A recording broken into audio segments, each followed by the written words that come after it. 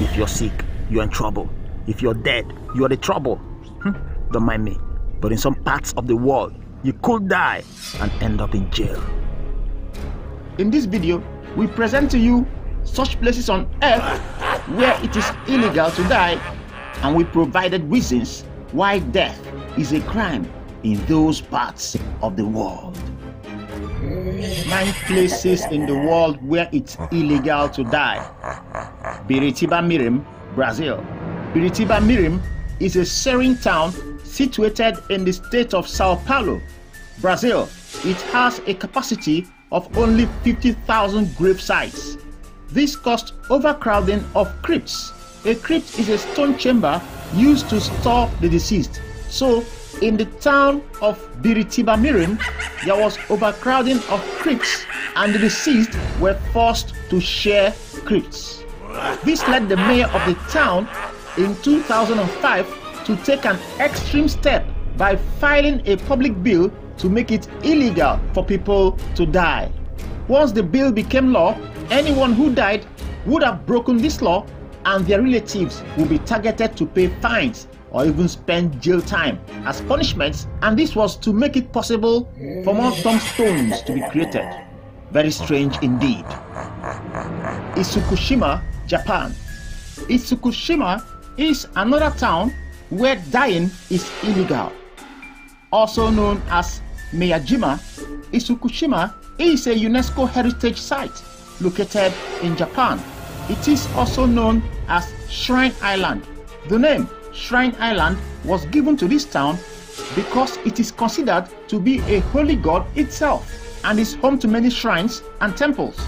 In order to maintain the sanctity of this place dedicated to the gods, no deaths or births have been allowed on the island since 1978. In fact, no hospitals or cemeteries have been built here at all. So, it is illegal to die on this island, but a dying relation could be taken to another location to give up the ghost. Lanjaron, Spain. Lanjaron is a town in Spain which is also in the history books as a place where it is illegal to die. In 1999, the mayor of this town banned deaths since the local cemetery was too full and the souls of the dead would be unable to rest in peace. Lanjaron town is located in the Granada province, southern Spain. Reports have it that the mayor's move to ban deaths in the town was carried out partly as a joke and partly as a political move to grab attention to the reason for the ban. But the ban became real and the population of 4,000 was advised to remain healthy until a new graveyard was built. Le Lavandou, France. Le Lavandou, a beautiful town in the Provence Alpes Côte d'Azur region in southern France, is another place that had to ban deaths due to lack of space in the cemetery. This town is known for its amazing beaches and postcard views. The law forbidding people from dying within the town was passed in 2000. This was because the cemetery in the town was at its full capacity. Longyearbyen, Norway. Longyearbyen, a small town in Norway, is very popular for white nights and midnight sun, that is, a period of the year when the sun never sets in the town. This town is also popular for coal mining and absence of deaths. Yes, you heard well. Absence of deaths. The town, which is located so close to the Arctic Circle, experiences extreme cold weather, which usually reaches freezing temperatures. This creates permafrost, that is, permanently frozen soil, which prevents dead bodies from decomposing, and this in turn increases the probability of spreading transferable diseases to the living. So, it is not really that death is illegal in this town, but there are simply no options for burial in this town. And terminally ill residents are flown to Oslo to live their last days. In Longyearbyen, it is against the law to die and be buried in the town. The law is actually against being buried in the town, so people do not wait for their relations to die. If someone is nearing death, they are taken to the mainland or other parts of Norway where such a law doesn't exist. Sapure, France. Sapure is a commune in the Pyrenees-Atlantics department in southwestern France. This commune is popular for once having forbidden death by mayoral decree. It was in 2008 that the mayoral decree forbade the residents' right to death unless they somehow already owned a spot for burial in the congested cemetery. So to die, you have to have a grave waiting for you, otherwise, you are forbidden from dying. A severe punishment was to be meted out to those who broke this law.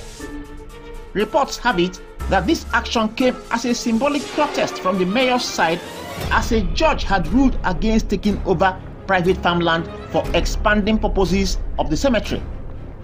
Sellia, Italy. Sellia's case against death is more absurd as it involves a ban against even falling sick in the first place.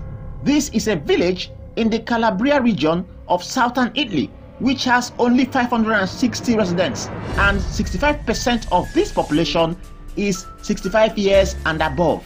So, in order to protect this town's diminishing population, a decree was passed in 2015 banning the residents from even falling sick. They shouldn't even think of dying at all.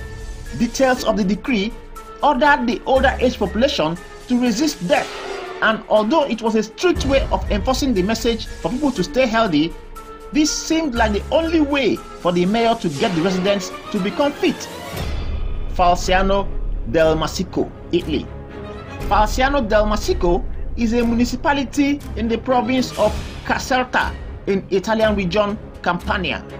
The mayor of this small village in southern Italy had issued an edict in 2012 banning residents from dying. The reason for this edict was because the town's cemetery was unable to accommodate more bodies.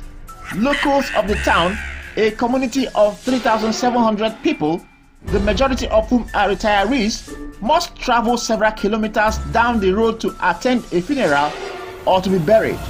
Lack of rooms in the cemetery brought this upon the residents of Falciano del Massico. Cugnaux, France. Cugnaux is a commune in the Haute-Garonne department in southwestern France. This is another place where an attempt was made to prohibit dying. In 2007, the mayor of Cugnaux, a serene community in southwestern France, banned death as he could not get permission to open a new cemetery. This town has about 17,000 residents. The ban on death was eventually lifted after authorities were granted permission to enlarge the town's local cemetery. Can we then say that people celebrated this news because they were now free to die? Sounds absurd.